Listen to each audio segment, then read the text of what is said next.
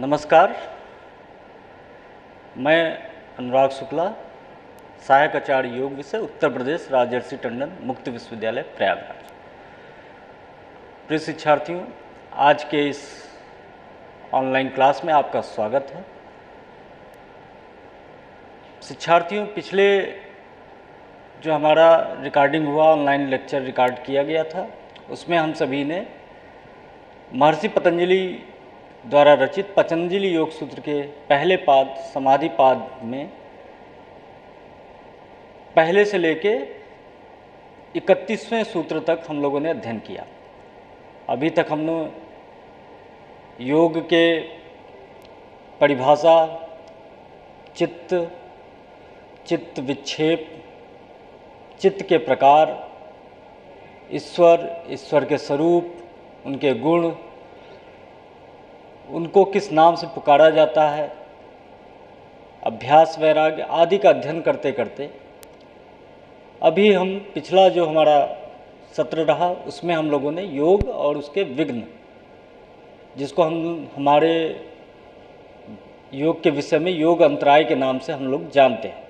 उसका अध्ययन किया था। उन योग अंतराय के साथ, जो नौ योग अंतराय थे, उसके साथ हमने सविक्षेप या सभुव जिसको हम लोगों ने पढ़ा था। आज के इस सत्र में हम उससे आगे अध्ययन करेंगे। तो आइए शुरुआत करते हैं। हमारा जो पहला विषय रहा है पतंजलि योग सूत्र, उसका ब्लॉक वन से यूनिट नंबर थ्री पे हम लोग पहुँच चुके हैं।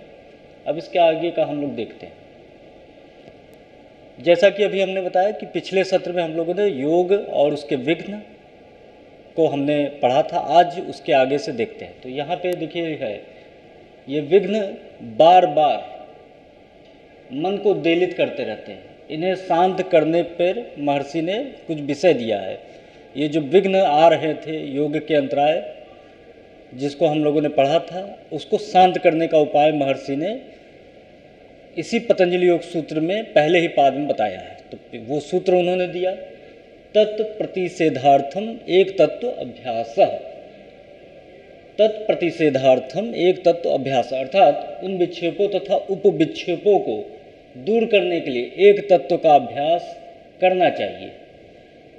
समझना है कि हम लोग योग में लगे हैं, योग योग की प्राप्ति की तरफ़ बढ़ रहे हैं, यम से शुरू करेंगे, समाधि तक जाएँगे।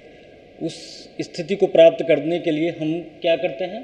एक तत्व का अभ्यास करना कि विघ्न आ रहे हैं तो उस विघ्न को दूर करने के लिए महर्षि ने क्या उपाय बताया? कि उन विक्षेपों तथा तो विक्षेपों को दूर करने के लिए एक तत्व का अभ्यास करना था। अब उस एक तत्व में क्या समझना समझना है कि वो एक तत्व क्या है? तो हम जानते हैं, नाम या रूप में किसी एक स्थान पर बार बार चित्त को समेट कर स्थिर करने का यत्न करना चाहिए। तो महर्षि करना क्या चाहते हैं? तो योग मार्ग में जब हम लगे हैं, ध्यान में लगे हैं या किसी यौगिक क्रिया में लगे हैं तो हमारा मन अन्यत्र ना भटके। उसी किसी जिस भी स्थिति में लगे हैं, चाहे नाम में लगा लीजिए, चाहे किसी के रूप में लगा लीजिए या जो भी आप स्मरण कर रहे हैं तो कोई एक तत्व का ही अभ्यास योग के समय करना ही चाहिए। किसी मतलब एक कार्य को करते समय किसी अन्य कार्य को नहीं करना चाहिए। तब वो वास्तव में हमारा मन जो उद्वेलित हो रहा था, जो भटक रहा था, वो हमारे नियंत्रण में आएगा। ऐसा इस सूत्र से हमें प्राप्त हो रहा तो यही क्रिया, इसका लाभ हमें अपने भौतिक जीवन में भी मिल सकता है। हम जिस भी कार्य को कर रहे हैं, जो भी कार्य हम करें शिक्षार्थियों, हमको उसी कार्य को बहुत ही मन लगा के करना चाहिए। इस सूत्र का एक लाभ ये भी है, जिसको हम अपने इस लौकिक जीवन में भी लागू कर सकते हैं या भौतिक जीवन में जिसको हम अपने आचरण में ला सकते हैं और अपने जीवन में सफलता प्राप्त कर सकते हैं। फिर क्या कहते हैं महर्षि? क्षण में नाम। देखिए, उन्होंने फिर उन उसका एक्सप्लेनेशन हम बता रहे हैं कि क्षण में नाम, क्षण में रूप ऐसा नहीं होना चाहिए। मतलब बार बार किसी का, जो भी आप काम कर रहे हैं उसको बार बार बदलिए मत। जो भी योग क्रिया में आप जिस कार्य में लगे हैं उसको बराबर लगातार पूर्णता आने तक उसमें लगे रहिए। जिससे मन अधिक लगता हो, उसी में अधिक देर तक अभ्यास बढ़ाएँ। इस प्रकार करने से विघ्न शांत हो जाते हैं चित्त वृत्ति भजन में लगने वाली हो जाती है। क्योंकि हम योग का अध्ययन कर रहे हैं तो योग में वास्तव में हमको कहाँ तक तो पहुँचना समाधि तक की अवस्था तक हमें जाना है। तो उस समाधि तक की अवस्था में पहुँचने के लिए हमें स्टेप बाय स्टेप ध्यान ध्यान, समाधि तक हम पहुँचते हैं। तो वास्तव में जब हम शिक्षार्थी उस योग के आखिरी स्टेज तक पहुँचते हैं तो वहाँ हमारा मन पहले ध्यान में आएगा, फिर समाधि प्राप्त होगा। तो ध्यान में जैसा कि हम जानते किसी एक बिंदु पर कंसंट्रेट किया जाता तो महर्षि एक तरह से यहाँ पे वही विषय रखना चाह रहे हैं कि आप जो भी ध्यान कर रहे हैं जो भी कार्य कर रहे हैं, किसी एक विषय पे ही कंसंट्रेट होके या पूरी पूर्ण एकाग्रता के साथ उस पर कार्य करें। क्या होगा? फिर उससे क्या होगा? मन भजन में लगने वाला होता है, फिर साधक संसार में रहकर ही भजन करता फिर आगे करते हैं, क्योंकि हम लोग क्या इसी संसार में लगे हैं, योग में जो भी बंधु लगे हैं, इसी संसार में लगे हैं, कहीं बाहर तो जा नहीं रहे तो इसी संसार में रह के भजन करते हैं। भरले बुरे लोग टकराते ही रहते हैं, उसमें निर्लेप रहने की विधि बताते हैं। अब क्या है, आप भजन साधना कर रहे हैं, योग मार्ग पर लगे हैं, अपने कार्य में लगे हैं तो आपको अच्छे लोग भी मिलेंगे बुरे लोग भी मिलेंगे। प्रिय शिक्षार्थी, यहाँ पे देखिए जो वास्तव में आज के समय में हम जो भी कार्य कर रहे हैं, जिस भी क्रिया को कर रहे हैं वास्तव योग ही नहीं, अन्य भी जो भी आपके जीवन में जो भी आप कार्य कर रहे हैं, उस पर भी यह विषय हमको सहायता दे रहा है। महर्षि पतंजलि का जो पातंजल योग सूत्र है, वो सभी के लिए उतना ही लाभदायक है। ठीक है तो यहाँ पे देखिए क्या है? तो इन्होंने स्पष्ट कहा कि आपको भले बुरे लोग भी इसी संसार में मिलेंगे क्योंकि आप, हम और आप सभी लोग इसी संसार में रह रहे हैं। फिर उसके लिए उन्होंने क्या किया? उससे निर्लेप रहने की विधि उन्होंने भी बताया। इस सूत्र के माध्यम से भी इसको पढ़ेंगे हम। बहुत ही महत्वपूर्ण सूत्र है। इसका, अगर हम लोग यूजीसी नेट का एग्ज़ाम की प्रिपरेशन कर रहे हैं, उसमें भी ये सूत्र आता है। इसलिए शिक्षार्थी, उसको बिल्कुल आप अच्छे से समझ लीजिए। तो सूत्र है मैत्री, करुणा, मुदिता, उपेक्षाणाम, सुख, दुख, पुण्य पुण्य विषयाणाम, भावनात चित्त प्रसादनम। मैत्री, करुणा, मुदिता, उपेक्षा के साथ साथ सुख, दुख, पुण्य पुण्य भावना चित्त प्रसादन अब इसको हम समझने का प्रयास करेंगे। तो क्या कहते हैं महर्षि? सुखी, दुखी, पुण्यात्मा और पापियों के विषय में यथा कम मित्रता, दया प्रसन्नता और उपेक्षा की भावना से चित्त निर्मल हो जाता। तो क्या क्या होना चाहिए? तो मैत्री। मैत्री क्या है? सुखी व्यक्ति अगर है तो उससे आपकी मित्रता कर लीजिए। दुखी व्यक्ति है तो आपको करुणा अर्थात दया करनी चाहिए। मुदिता। अगर कोई कार्य अच्छा कर रहा है या पुण्य कार्य कर रहा है तो उसकी आप प्रशंसा करिए। फिर क्या कहता है? उपेक्षा, उपेक्षाणाम। पापियों का मतलब जो गलत कार्य कर रहे हैं, उनसे असंग रहिए, उनकी उपेक्षा करिए। मैत्री, दया, प्रसन्नता और उपेक्षा की भावना से ये चित्त क्या होगा, ये मन क्या होगा, ये निर्मल हो जाता है। तो ये चार तरीका उन्होंने महर्षि ने बताया कि संसार में आप रहेंगे तो इस तरह के लोग मिलेंगे और जो जिस प्रकार के अवस्था वाले हैं, उनके साथ वैसा ही गुण धर्म हमको करना है, वैसा ही उनके साथ व्यवहार करना है। आगे बढ़ते हैं, इसको और अच्छे समझेंगे। फिर कहते हैं, राग रोष ईर्षा मद, मोह, असूया, अपकार, द्वेष इत्यादि चित्त के मल हैं, या चित्त की गंदगी है। इस सब चीज़ों से आपका मन निर्मल नहीं हो रहा है। राग रोष ईर्ष्या, मद, मोह, असूया, अपकार, द्वेष इत्यादि, ये क्या है? मन को निर्मल करने से या मन को प्रसन्न करने से आपको रोकते हैं। इससे आपके अंदर विकार उत्पन्न होता है। फिर क्या करना है? फिर महर्षि कहते हैं, इन सबसे बचना है। फिर रामचरित मानस का एक उदाहरण हम देखते हैं, बाबा तुलसी कहते हैं, राग रोष ईर्षा मधुमोह जनी सपने हूँ, इनके बस हूँ। मतलब इन चीज़ों के बीच में सपने में भी नहीं पड़ना चाहिए। राग रोष ईर्ष्या, मद और मोह, इनसे सपने में भी इनसे दूर रहिए। बाबा तुलसी भी यहाँ पे हम लोगों को सचेत करते हैं। फिर आगे कहते हैं, देखते हैं, इन मलों से निवृत्ति हेतु प्रस्तुत सूत्र में महर्षि कहते हैं कि सुखी व्यक्तियों के प्रति मैत्री भाव, देखिए अभी हमने पढ़ा था, सुखी व्यक्तियों के प्रति मैत्री भाव रखना चाहिए। गीता में है कि बाहर संसार के विषय भोगों में अनासक्त पुरुष, अंतरात्मा में जो सुख है, उस सुख को प्राप्त होता है। कि बाहर जो चीज़ें हैं, भौतिक चीज़ें हैं, उनसे ऊपर उठा हुआ व्यक्ति जो अंतरात्मा में सुखी है वो वास्तविक सुख को प्राप्त करता है, वास्तव में वह सुखी है। फिर कहते हैं, वह पव पुरुष पर ब्रह्म परमात्मा के साथ मिलने से युक्त अनात्म आत्मा वाला है, इसलिए वह अच्छे सुख का अनुभव करता है। जिस सुख का कभी क्षय न, क्षय मतलब अक्षय का अर्थात हम समझ पा रहे हैं जिसका कभी क्षय ना हो तो उस परमात्मा उस योग में लगे हुए साधक को अच्छे सुख की प्राप्ति हो जाती है, जो इन महर्षि के द्वारा बताए हुए सूत्रों पर धीरे धीरे योग में बढ़ता है। इस सुख का उपभोग कौन कर सकता है? तो बाहर के विषय भोगों से अनासक्त है ऐसे सुखी व्यक्तियों में प्रीति रखने से साधना में सहयोग मिलता है। ठीक है ना? साधना में सहयोग मिलता है। फिर तो अभी हमने क्या पढ़ा? मैत्री, करुणा, मुदिता, उपेक्षाणाम, सुख, दुख पुण्यापुन विषयाणाम, भावना, चित्त प्रसादन ये सूत्र है, उसी का हमने यहाँ पे हाँ देखिए, उपभोग कौन करता है? इसके आगे बढ़ते हैं।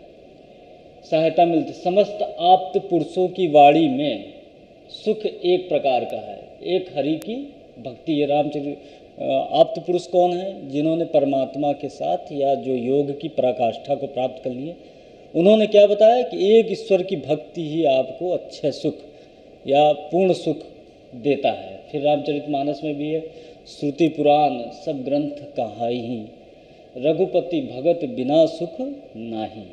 हिमते अनल प्रकट बरु हो ही विमुख राम सुख पाव न कोई तो एक ईश्वर के प्रति, जैसा कि अभी महर्षि पतंजलि ने भी कहा कि प्रसिद्ध प्रतिषेधार्थम एक तत्व अभ्यास। एक तत्व का अभ्यास करना तो यहाँ पे भी बार बार चाहे गीता आपने देखा, अभी बाबा तुलसी का रामचरित मानस में भी हमने देखा। सब लोगों ने क्या कहा कि एक तत्व का अभ्यास करिए। किसी एक तत्व का अभ्यास करने पे धीरे धीरे वो स्थिति प्राप्त हो जाती जहाँ अच्छे सुख सुख का कभी नाश ना हो, ऐसे सुख की प्राप्ति हो जाती है। अतः इन ईश्वर प्रायण पुरुषों में मैत्री भाव से चित्र निरोध की दिशा में सहायता मिलेगी। अर्थात जो योग की पराकाष्ठा को प्राप्त कर लिया है, ऐसे पुरुषों के सानिध्य में, ऐसे पुरुषों के प्रति मित्रता की भाव रखना चाहिए और इससे क्या होगा? धीरे धीरे आपका मन निर्मल हो जाएगा, क्योंकि उनकी संगति से जो भी उपलब्धि होगी वो साधना पारायण या साधन के में आपको लाभ देने वाली होगी।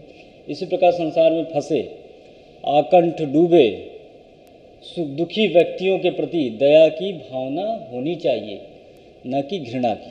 तो अगर आप के जो संसार में और भी लोग हैं, जैसे जो संसार में फंसे हुए हैं, उन्हीं राग रोष मध्य ईर्ष्या में फंसे हुए उनके प्रति आपको कौन सी भावना रखनी चाहिए?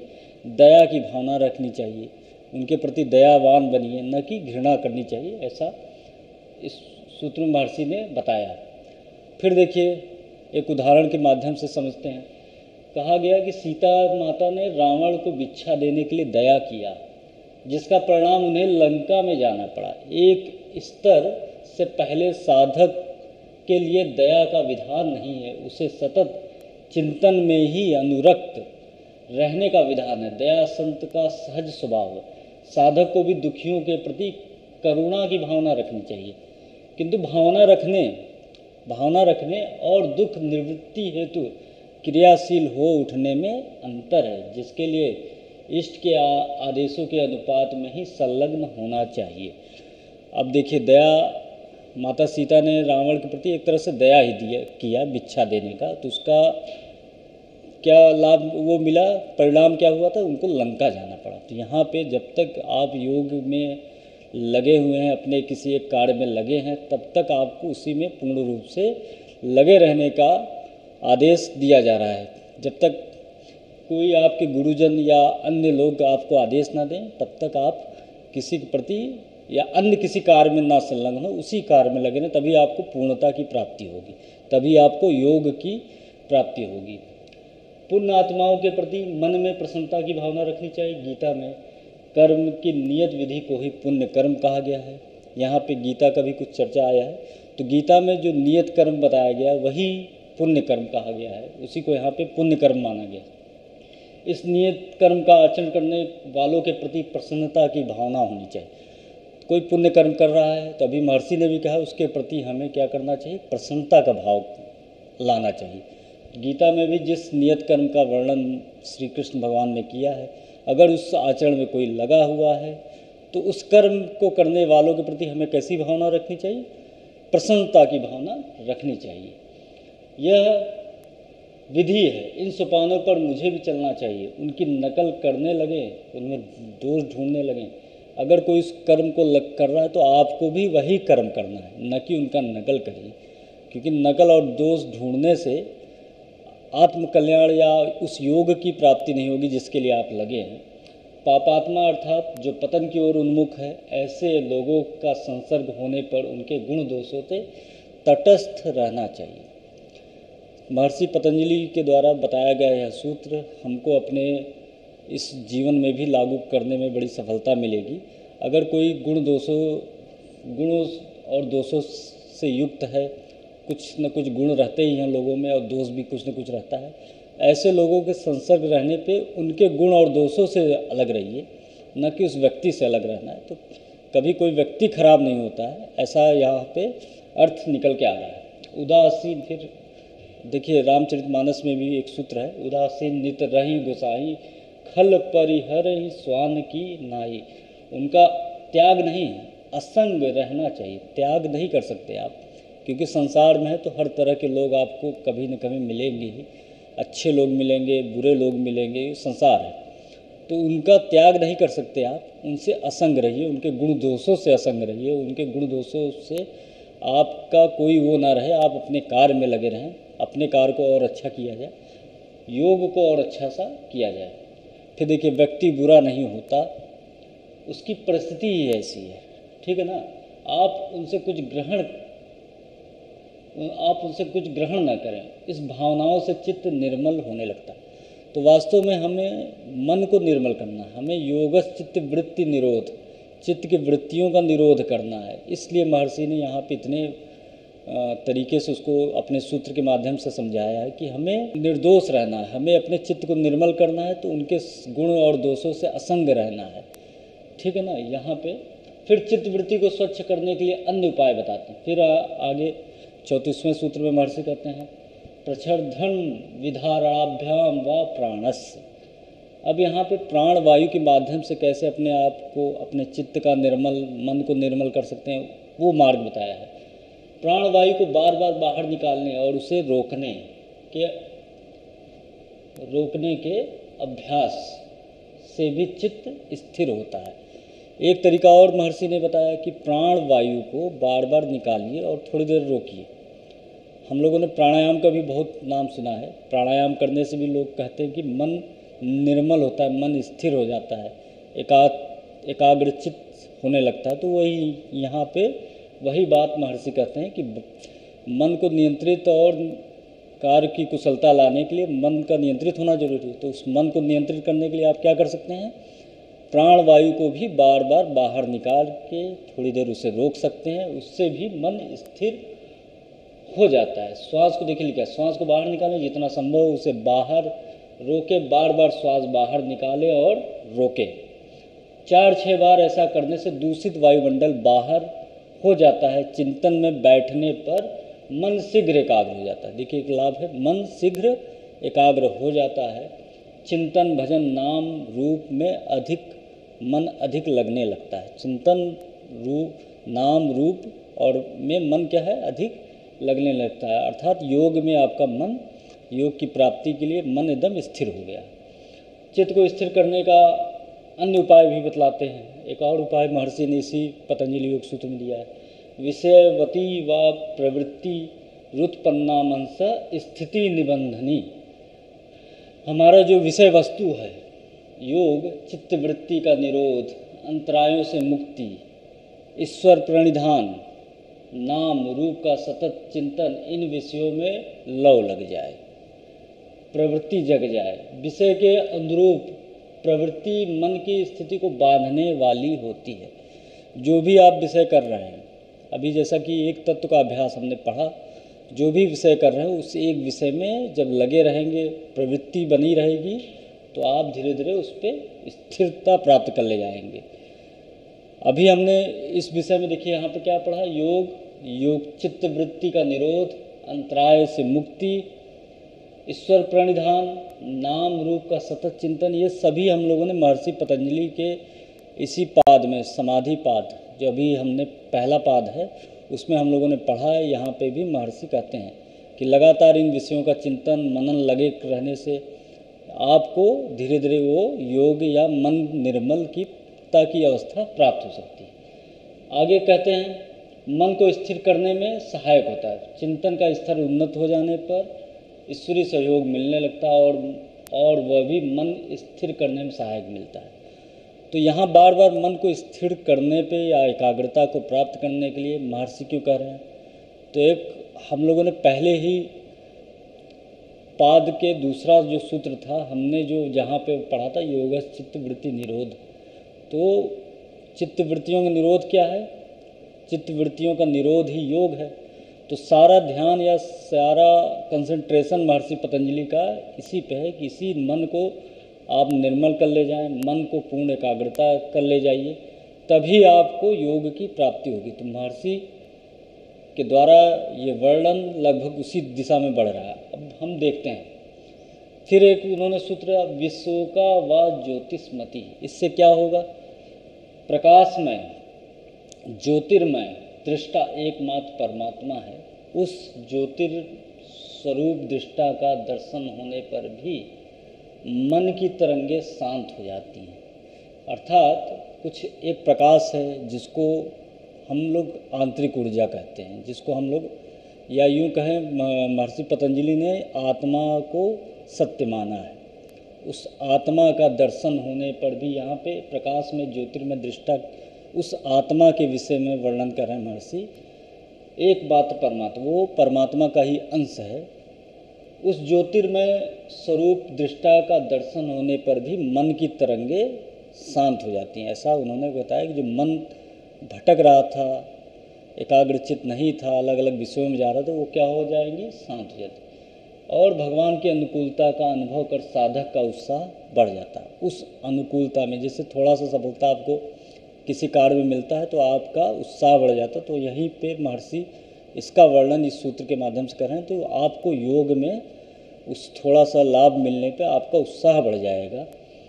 यह दर्शन विघ्नों का समन कर मन को स्थिर करने में सहायक होता है। फिर ये जो थोड़ा सा लाभ मिला, इस, इसका क्या लाभ मिला? मन स्थिर करने में यह भी सहायक हो जाता है। आगे कहते हैं वितराग विषयम व चित्तम। वितराग अर्थात राग मुक्त महापुरुषों की जीवनचर्या का अंतकरण में धारणा करने पर चित्त स्थिर हो जाता है। चित्त स्थिर का एक तरीका यह भी है कि जो महापुरुष हैं, जो योग मार्ग पर लगे हैं, उनकी जीवनचर्या का अंतकरण में धारणा करने पर भी चित्त स्थिर हो जाता है। ऐसे आप्त पुरुषों की स्थिति उनकी रहनी उनकी प्राप्ति स्मरण चिंतन मनन करने से उनके अनुरूप अपने मन को ढालने से चित्त स्थिर होने लगता है विघ्न शांत हो जाते हैं। कुल मिला के आज का जो ये अपना से, सेशन रहा इसमें हमने योग अंतरायों या विघ्नों को दूर करने के उपाय पे चर्चा किया। ये चर्चा बहुत ही महत्वपूर्ण है क्योंकि हम को प्राप्त क्या करना है? मन की निर्मलता को प्राप्त करना है। चित्त निरोध की अवस्था तक हमको जानना है। तो महर्षि के द्वारा ये बत्तीस से लेकर सैंतीसवें सूत्र तक, इन पाँच सूत्रों में मन को स्थिर करने या योग की परम पराकाष्ठा को प्राप्त करने के लिए आपको कौन सी क्रिया करनी है, किस तरह से आप उस कार्य को कर सकते हैं, उसका वर्णन यहाँ किया गया है। इसके आगे अगले ही सेशन में पढ़ेंगे। बहुत बहुत धन्यवाद।